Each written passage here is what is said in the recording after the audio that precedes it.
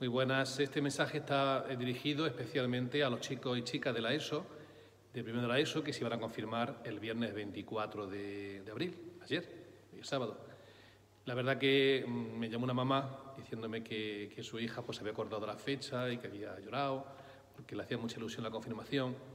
Eh, en el fondo me alegro que, que, llore por no confirmarse, ¿no? Porque eso quiere decir que tiene mucha ilusión y muchas ganas. Bueno, la cosa ha venido así este año, tenemos este problema, a ver cómo, lo, cómo salimos de él, ¿no? Y cómo vamos pasando, a ver cómo aterrizamos la realidad. Pero sí quiero mandaros a los chicos y a las chicas unas, unas reflexiones muy sencillas para estos días, ¿no? Primero, que estemos tranquilos, que vamos a confirmarnos. Si no va a ser eh, pues ahora en abril, bueno, será en junio, será en septiembre o será en octubre, pero que nos vamos a confirmar. Y si Dios quiere, cuanto antes. Eso en primer lugar. Que estemos tranquilos. Segundo, que no perdamos el tiempo, que también es bueno que nos preparemos mejor, ya que tenemos este tiempo, aprovecharlo. No vivir solamente como una cosa, que, un paréntesis o, como algo que, que, negativo, sino también como algo positivo, ¿no? Entonces, eh, realmente, ¿para qué quiero yo el Espíritu Santo? ¿Por qué lo echo de menos? ¿Por qué quiero tenerlo? A lo mejor no nos hemos hecho esa pregunta así tan fríamente, ¿no? Y es una ocasión para decir, ¿por qué quiero yo recibir al Señor o su Espíritu Santo que viva dentro de mí?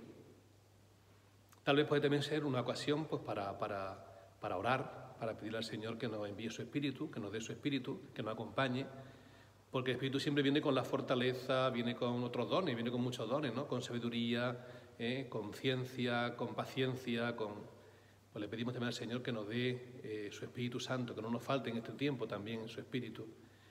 Y por último, quería decir también que es muy importante la convivencia. Somos ya mayores, no somos los niños de comunión, somos ya mayorcitos. Entonces es muy importante nuestra actitud con los papás y con los hermanos, que seamos constructivos. ¿eh? Estamos en la adolescencia ya y nos ponemos a veces con la hormona un poquillo acelerados, que seamos positivos, que seamos constructivos. Todos estamos pasándolo mal, todos queremos que esto acabe, todos queremos ir a la calle pronto y hacer vida normal.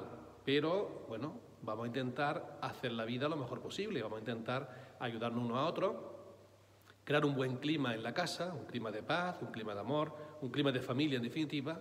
Y bueno, esas dos cosas quería decir, o esas tres cosas, que tengamos esperanza, que le recemos al Espíritu Santo y le pidamos al Señor que, que, que, que nos explique qué es el Espíritu Santo y por qué necesitamos el Espíritu Santo y que tengamos buena conducta y buena convivencia con nuestros hermanos más pequeños y sobre todo también con nuestros papás, que lógicamente también están pasando dificultades, ¿vale? Ánimo y os voy a mandar unas oraciones también junto con este vídeo mm, a todos los catequistas para que también podáis rezar estos días y podáis también meditar un poco en, en lo que es la Pascua, la alegría de la resurrección y lo que es sobre todo la vida del Espíritu Santo y la espera del Espíritu Santo que también los apóstoles hicieron y la Virgen María.